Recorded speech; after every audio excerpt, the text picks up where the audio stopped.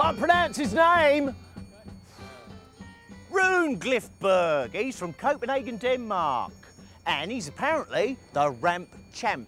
But who cares about that? Because we're all on street skating, ain't we?